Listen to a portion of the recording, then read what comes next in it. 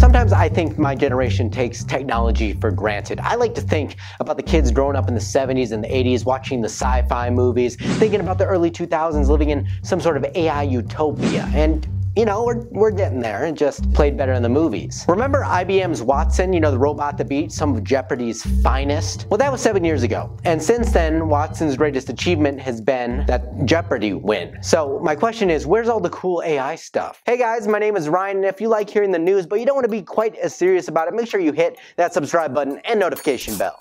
Well, Watson's launch was kind of like a mass market striptease that had the world in awe of the potential of AI. And while it did end the AI winter, it still has yet to produce a market viable technology. So why are products with massive awareness and genuinely innovative technology failing. Now, you know, technology does what we ask it to do. Made for TV AI like my one-eyed friend is gonna make for good TV. Turning that into a practical application for business, now that's a different story. So I ask you, what do you think a practical application for AI could be in the future? Leave a comment down below and keep it realistic, okay? I don't wanna hear, I want AI as a best friend. And I mean, look, I have Alexa and that is a practical application, but man, it is depressing. Look at Google Glass, Oculus Rift, hoverboards, Segway, and Flip video cameras. Dead, dead, dead, super dead. Why are products with massive awareness and genuinely innovative technology failing? And the answer is pretty simple. None of them had a practical application that added value to the customer. Google Glass was a novelty that came with the expense of the user's dignity. Oculus was supposed to be a premium entertainment, but its ecosystem was kind of iffy on that spectrum. Hoverboards and Segways, while still around, lost the battle to human legs,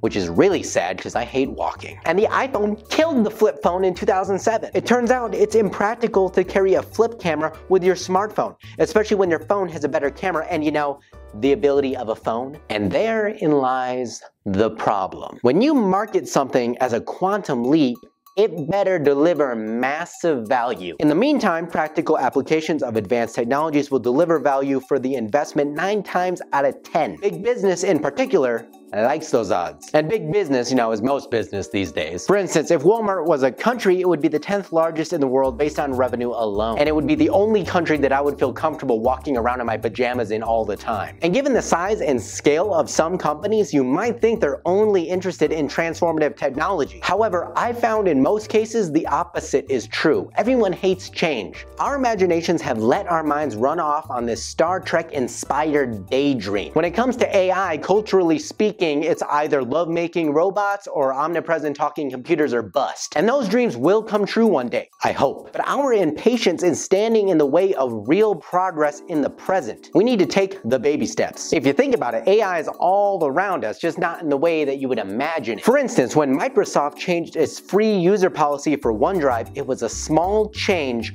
with a potentially huge impact. And you may not know what I'm talking about, but the point is, for every 1% of the total amount of free users Microsoft converted, the revenue was an estimated $107 million. In addition to that, Amazon's AI-driven recommendation engine has made it astronomical amounts of money online. What do these numbers mean?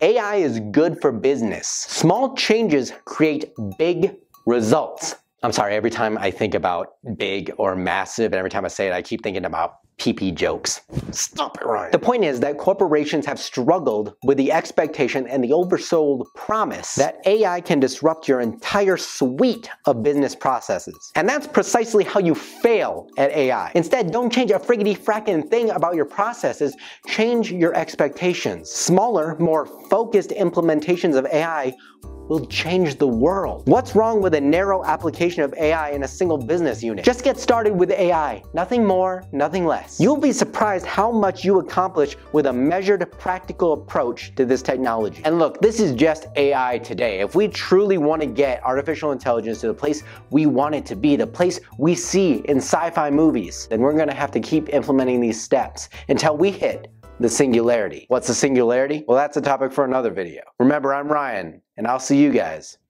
in the next one.